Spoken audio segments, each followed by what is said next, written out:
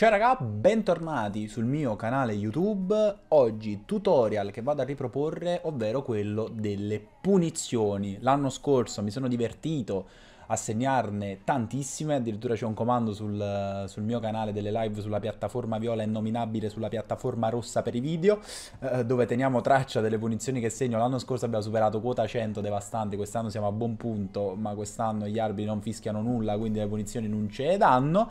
E vi voglio mostrare L'anno scorso vi mostrai una sola tecnica, quest'anno invece ve ne voglio mostrare due. Per fare questo ehm, voglio andare a uh, farvi vedere in arena queste due tecniche e in più vi vado a far vedere uh, in partita come andare a performare questi calci di, di punizioni con delle clip. Quindi cambio di scena, eccoci qua e uh, ci troviamo in arena dove sapete che con le freccette possiamo ottenere i calci di punizione.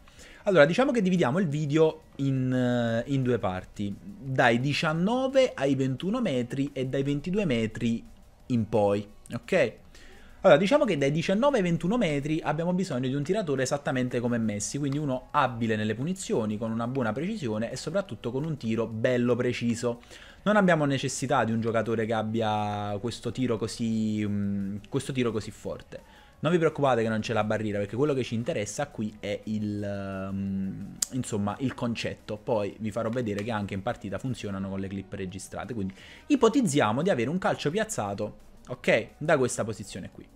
Cosa dobbiamo andare a fare? Dobbiamo andare a mirare esattamente in alto a tutto. Vedete com'è stabile? Non è che il mio dito è Robocop, è semplicemente il fatto che sto mirando in alto a tutto. Non può andare più sopra di così l'indicatore.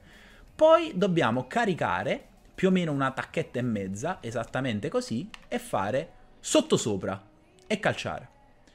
Ora, non state a badare il fatto che il portiere l'abbia parata, perché in arena i portieri sono tra virgolette buggati, leggono l'input del tiro e si spostano. Vedete che non si è manco buttato, si è solo spostato.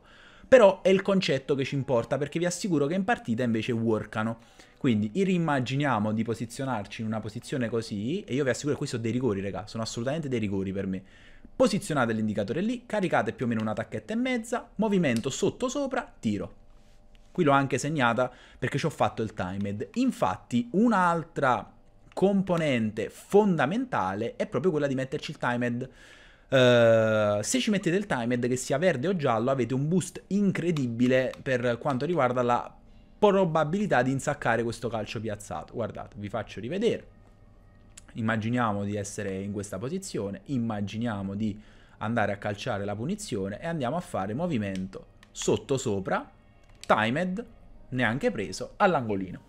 Quindi molto molto semplice ragazzi, movimento sotto sopra con l'analogico dopo aver caricato quando ci troviamo più o meno sui, um, sui 21 metri, dai 19 ai 21 metri.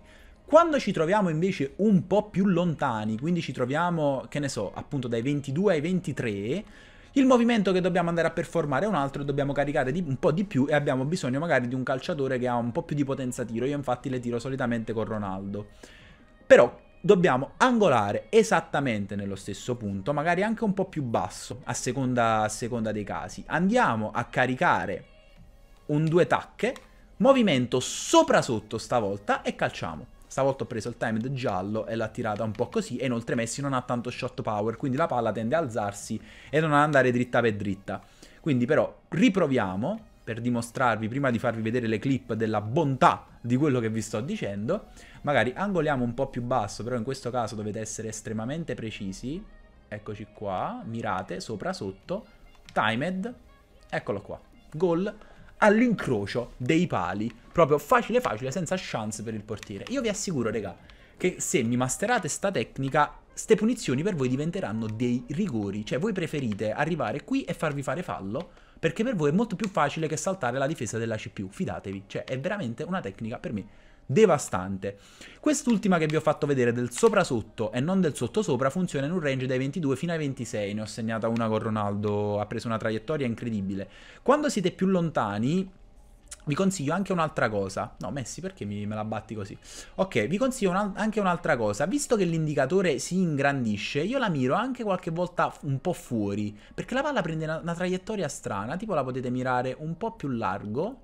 Esatto, poi fate sopra sotto timed, Vedete? Come la palla era andata all'angolino, qui però il portiere è stato bravo, me l'ha letta, ma solitamente si insaccano. Ci sta che magari vi fa il miracolo e... e può capitare. Però è una tecnica veramente molto molto valida sia dai 19-21 che dai 22-26, quindi uh, sotto sopra per quanto riguarda uh, 19-21, sopra sotto per quanto riguarda 21-26 ragazzi.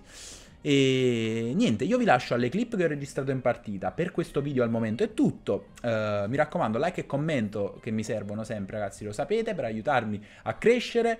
Mettete un bel iscritto al canale perché stiamo appunto crescendo e mi fa strapiacere che apprezziate i contenuti che vi porto. Ci vediamo ogni giorno in live sulla piattaforma Viola, trovate tutte le info appunto in descrizione. Vi lascio le clip e mi raccomando, fate bravi. Ciao ciao. Un po' forte.